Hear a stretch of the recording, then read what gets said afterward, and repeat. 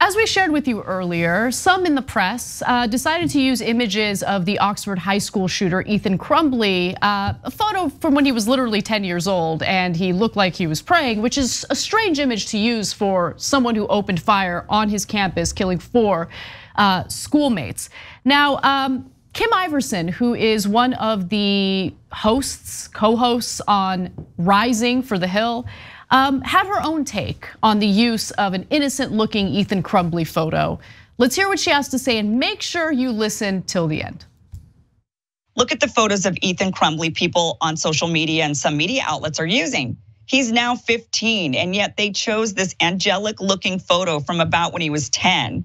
What is the purpose of this when there are several other photos like his mugshot that could have been shown instead? This same sort of tactic is used in reverse against black perpetrators and even victims.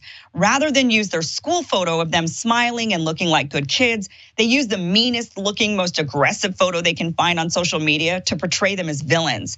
They attempt to portray them as people who either obviously would commit the heinous crime they did or victims who deserved it.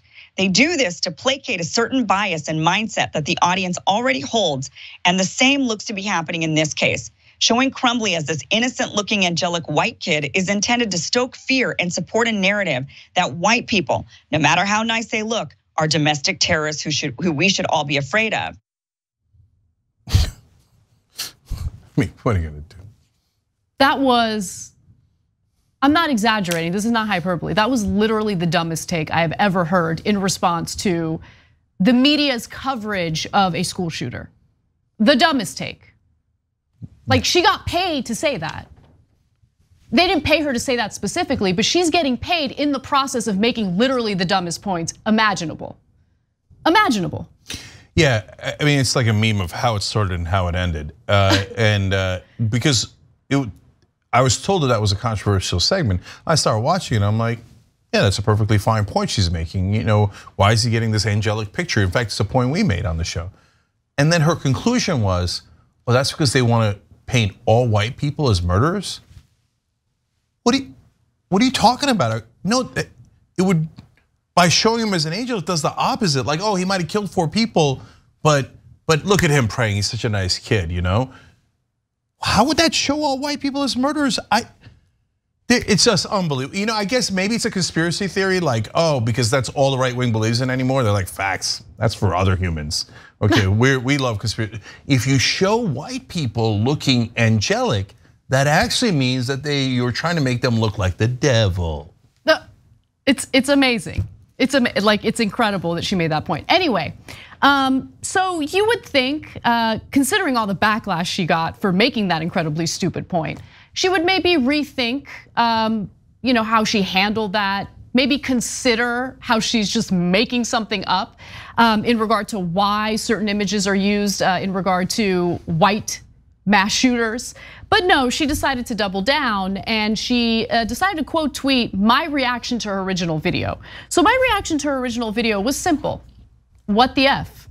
She didn't like that. Mm -hmm. And so she uh, quote tweeted it and said, the photo used for the shooter is meant to support the narrative you've created in people's minds, meaning the narrative I allegedly created in people's minds.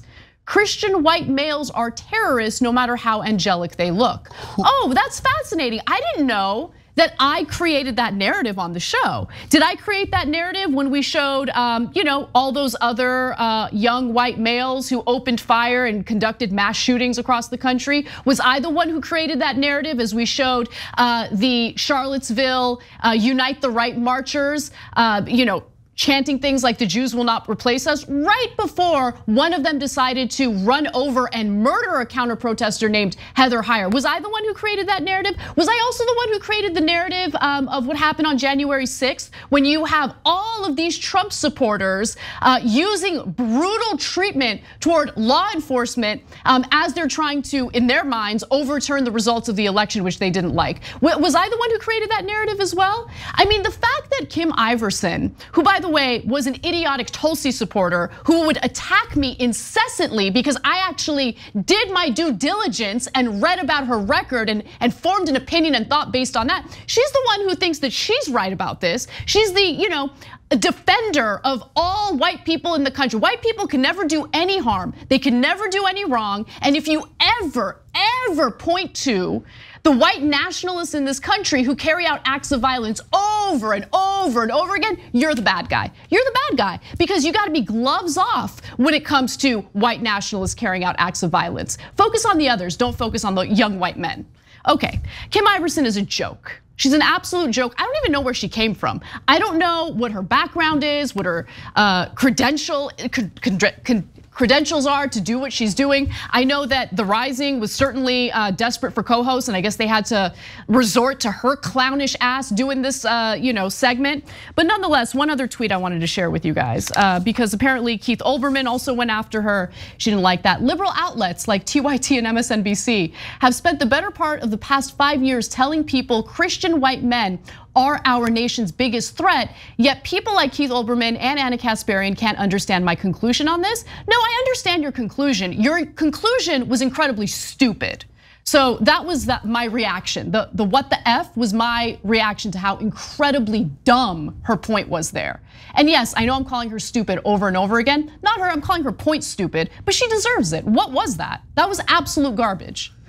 Okay, so a couple of things here. Number one, uh, she's saying we make all Christian white men look like that.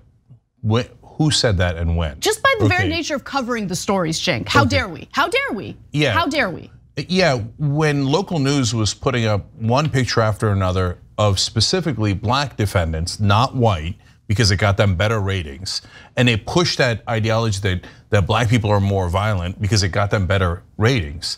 Uh, that apparently was just, oh, well, golly gee, they happen to just pick all the black uh, people accused and not the white. That was just a-okay, okay? Uh, now, in this case, well, is it true that there are equal number of right-wing terrorists in this country and left-wing terrorists? It's not remotely true. Every fact backs that up. The FBI backs that up. It's overwhelming. Now, does that make all right-wingers terrorists? Of course not. But most of the terrorists in this country are right-wingers and, and white.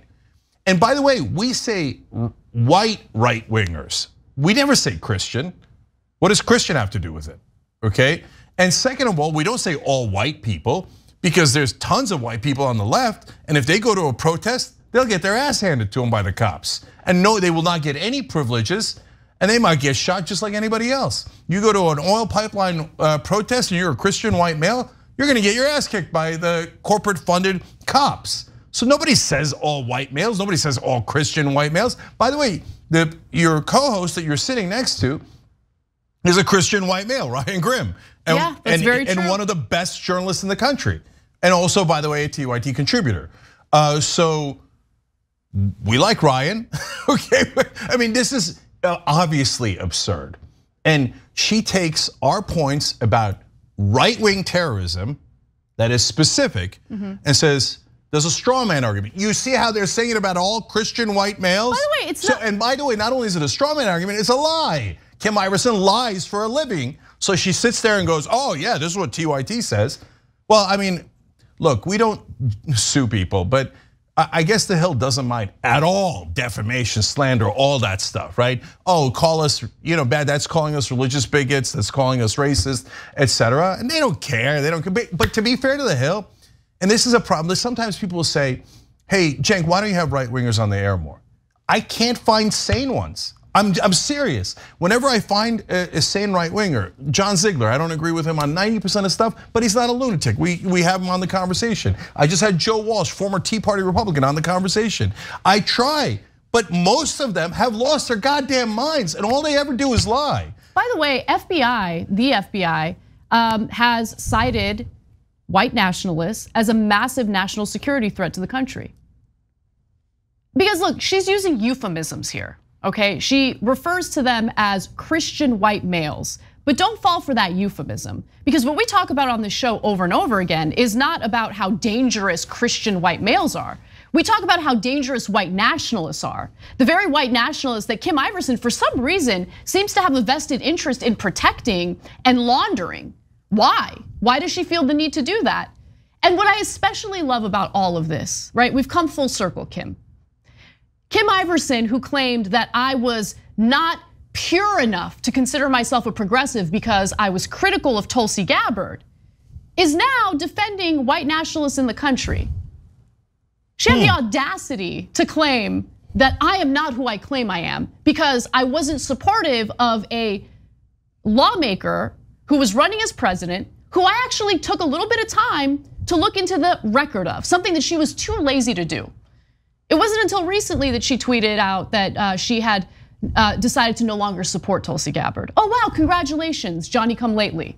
Yeah, I honestly, there's so many grifters now. So many. I, I don't even know if she's pretending to be left wing or she's right wing or I don't know what she's pretending.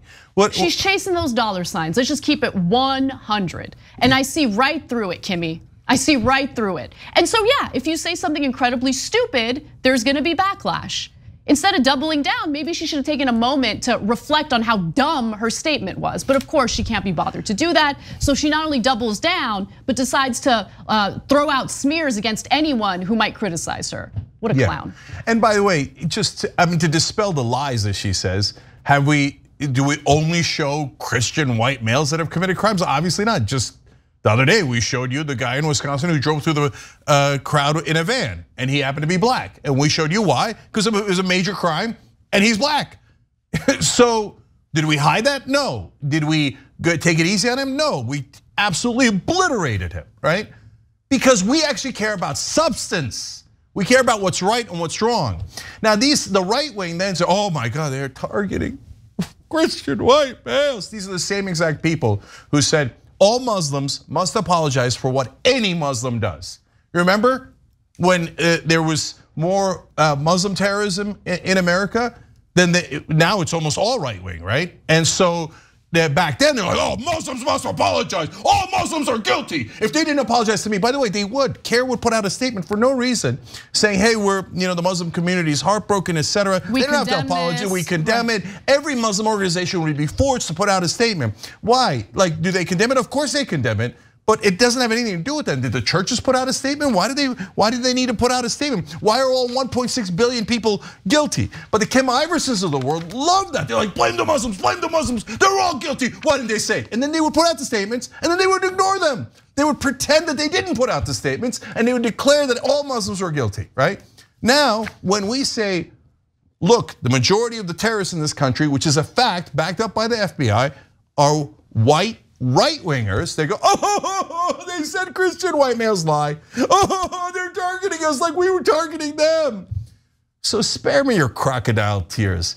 And I said the reason I said to be fair to the Hill is because find a non-lunatic right winger and put him on there. Good luck.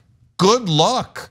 So are we going to do shows where we give right wingers equal time? No, we are not. Because then we'd have to give a lunatic equal time. I'm not going to do that. There's enough lunatic right wingers all over TV, all over the media. We don't need them here, okay? So the hell, you wanna do a show half wonderful reporter, half lunatic? Have at it, Hoss.